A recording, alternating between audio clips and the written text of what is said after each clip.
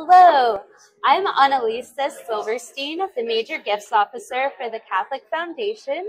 And today I'm here with Father Marcus McFadden, the Pastoral Director at our Cathedral, St. Patrick's. And he's also the Director of the ongoing clergy formation. And you are also the Director of the National I'm a board member. board National- member of the National Clergy Formation. So tell us, what is what is that? What what is the ongoing clergy formation? It's it's a committee which Bishop Seitz and both Bishop Tony as well sit on, uh, sit on this, and we basically take uh, the year and we pick a day each month, and we have uh, the gathering of all the priests as well as the deacons as well, and we do things. Uh, we bring in we bring in um, experts in homiletics, uh, sacred scripture, theology, moral theology. Um, we're going to have a, a end of life ethical presentation with Father Thad? Thad.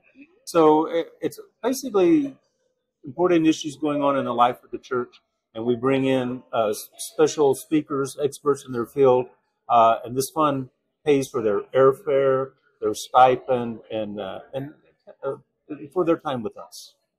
That is so interesting. Thank you so much for sharing it. So it's kind of like a professional development for our clergy. Correct. Oh, excellent. So, um, what we're doing today is we're going to have our burgers and our pints for priests, and you can come out. We're going to fundraise for this specific ongoing priest formation fund, and the tickets are only $30. And you can buy the tickets on the Catholic Foundation's website.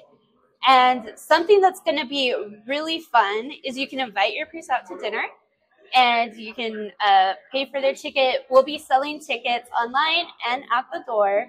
Just let us know you're coming. And we're going to have some fun table games there that you can play with your priest.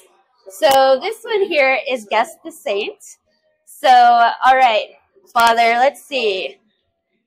This saint, his name in Greek means rock. A large church was built over the place where he was martyred, and the largest basilica in the world is named after him. Who is it? St. Peter. St. Peter! You got it right! Excellent.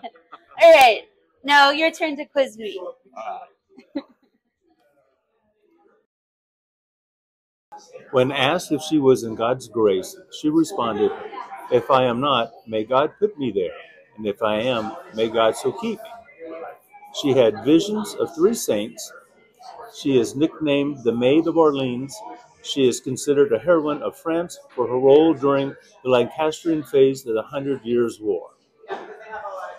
I think this is Joan of Arc. Joan of Arc it is. Thank you. And so these are just some of the fun things we'll have that night. So come on out, bring your family. Wednesday, July 31st, 2024, from 5 p.m. to 8 p.m. See you there at the Hoppy Monk.